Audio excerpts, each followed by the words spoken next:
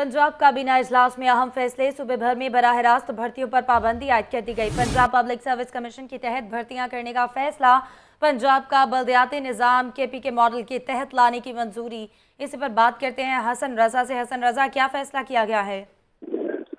جی بالکل، یہ اجلاس میں واضح طور پہ کہہ دیا گیا ہے کہ پنجاب کا بلدیاتی نظام جو ہے وہ خیبر پختونخوا کے ماڈل کے مطابق جو ہے وہ لانے کی منظوری دی گئی ہے اور نئے بلدیاتی نظام کے تحت مقامی حکومتوں کو جو ہے مضبوط بنایا جائے گا اور کانٹریکٹنگ فیلڈ جو ہے وہ روک دی گئی ہے۔ جب نیا نظام آ جائے گا بلدیاتی، تو اس کے تحت جو ہے تمام بلدیاتی اداروں کو جو ہے وہ پیسے منتقل کیے جائیں گے اور وہاں سے جو ہے ترقیاتی کام ہوں گے اور مقامی حکومتوں کو مضبوط بنایا جائے گا۔ مستحکم کرنے کے لیے جو ہے پالیسی جو ہے وہ باقاعدہ طور پہ اس کے مطابق اقدامات کیے جائیں گے۔ اور اسی اجلاس میں بتایا گیا کہ پنجاب پبلک سروس کمیشن کے تحت ہی تمام تر تمام بھرتیاں ہوں گی اور جو ڈائریکٹ بھرتیاں کی جاتی تھی جس میں ایم پی ون اور M P two M P three کے تحت افسران بھرتی کیے جاتے تھے کہ ایک اجلاس کر کے اس نے جو ہے مہنگی تنخواہوں پر افسران بھرتی کر لیے جاتے تھے، ان پر پابندی عائد کر دی گئی ہے اور بالکل ایسا نہیں ہوگا۔ اور اس کے ساتھ ساتھ انہوں نے جو ہے کفایت شاری جو اخراجات بہت زیادہ کرتے تھے، اس کو کنٹرول کیا جائے گا اور کفایت شاری کی پالیسی جو ہے اپنائی جائے گی۔ وہ ایک ہفتے صرف ایک گاڑی استعمال کر سکے گا اور زیادہ اخراجات نہیں ہوں گے اور ہر مہینے کے بعد جو ہے متعلقہ سیکٹری وزیر اعلیٰ پنجاب کو جو ہے بریفنگ دیں گے